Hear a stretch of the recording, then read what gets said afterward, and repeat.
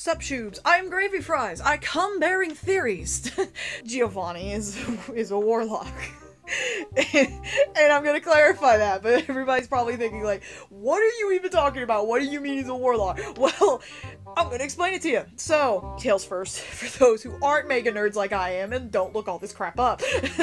um, there are multiple countries in Epithet Erased, but there's only a few. There's like a handful, and I don't I don't remember all of them. I will get to that point, but as of right now, there's the Jungle Country, I believe that's what it's called. that uh, that's actually where Molly's mom comes from, and Howie comes from there as well. Uh, Taiga is essentially Caucasian in their universe, like a city girl or city boy type of thing. That is what uh, Martin and Lorelai are. Well, Lorelai's partially jungle because of her mom, but uh, Martin is a Taiga, meaning that it, you know that is confirming that Molly has jungle and taiga in her. But okay, then you have I believe it's called Lake Country. They're travelers. Um, Mira has a part of that in her as well. The desert country, that's what Indus is talking about in like the uh, museum arc. And then finally, we have the ocean country. Yeah. the ocean country is the weirdest, most interesting one out of all of them because they were a race of witches and warlocks that studied dark magic, but they were harassed and mistreated so much on the surface that they decided, you know what? No, screw this, we out, and then put themselves underwater. and there are ocean country people above the water, but none of them are pure blood.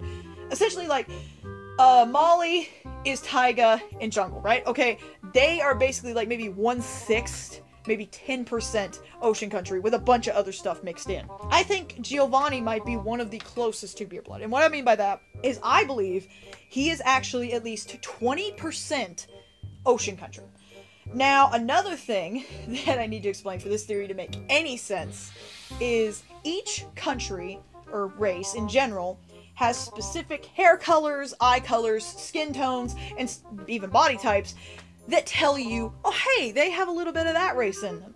You know, as normal life races have certain things that tell you a difference or a minor difference to their body.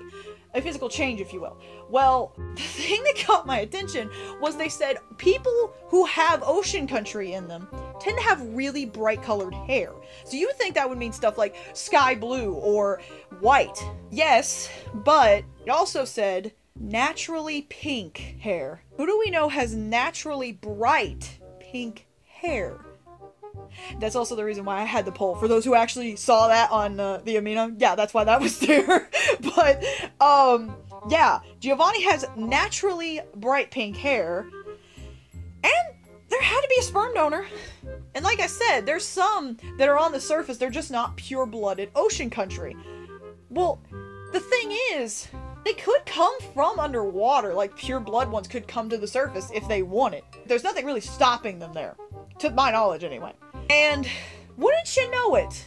Uh, the guy at the end of season one, uh, he, I, I won't get into anything major here, but he, he has ocean country. I won't say anything else, but he has ocean country. Uh, he, he is the closest to pure blood, right? I may or may not be leading up to something here, but he also has um he also has bright pink little shades in his hair. And uh, his ears are kind of spiky, you know, like somebody else we know, their ears stick out like a sore thumb. I'm saying, um, and uh, I'm just, I, I'm, I'm, another reason I'm leading up to this. I'm giving you a chance to back out now because we are about to get into spoiler territory. That ocean country thing was the weakest I could get. You better back up. But yeah, boys, Rick Shades is Giovanni's sperm donor. He's the one who donated to Gio Mommy and made Giovanni. and I can't say much. Like this, basically, Rick Shades is full-blooded ocean country and can use dark magic, and just he's awesome and he's already been through a bunch of wacky adventures in anime campaign so uh, in my eyes it would make sense if maybe he thought it would help somebody to donate a sperm so they could have a child. And for another thing I feel makes a great point that definitely, you know, to me proves what I'm saying. Uh, Bellatrix or Trixie, who's one of Molly's friends, uh, you saw her at the end of season one as well. Uh, she in fact is Giovanni's cousin. I mean, she was an anime campaign. I don't know if she still is. To my knowledge, she is. But yeah, she's Giovanni's cousin. Uh, not on his mom's side. Uh, I believe it's on the sperm donor's side. From what from what I know. Again, I'm going off stuff from TV trope or trivia. Like, but it's on uh, his dad on the sperm donor side right? Okay, she has bright pink hair, and you're thinking, well, yeah, of course she would if they're ocean country. No, no, no, no, no. Something else that proves he's ocean country. In anime campaign, and I'm pretty sure she can still do this, she uses dark magic and and can summon ghosts and stuff. Again, anime campaign. I'm very I'm very weak on that knowledge. but yeah, from what I know, and I'll totally correct this entire video if I'm if any of this is like majorly wrong, but yes, from what I know, the woman can use dark magic. Therefore, should be running in the bloodline. Long story short, I have a theory that Giovanni is from Ocean Country and can use dark magic. He can pull a raven. Oh, and Rick Shades is his sperm donor. Well, enough of my conspiracy theories. no, seriously, guys.